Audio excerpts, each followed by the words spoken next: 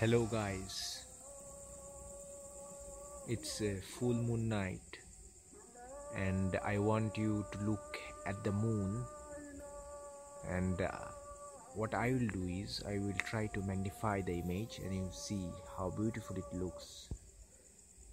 Okay, okay, so here we go. Okay, so here slowly and gradually you see the brightness, the is increasing.